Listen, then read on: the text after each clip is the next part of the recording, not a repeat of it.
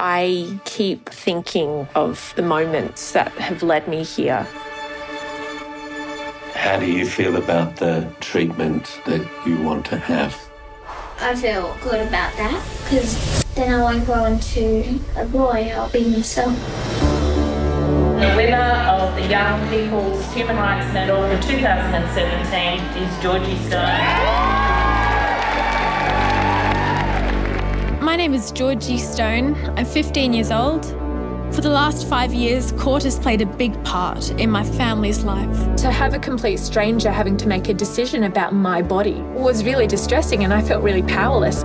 I want to make sure this doesn't play the same part in anyone else's life. We won! Even though we have achieved a lot, we still need to make sure that we are protecting and looking after trans kids in Australia. I've always known who I am. I've always been a girl.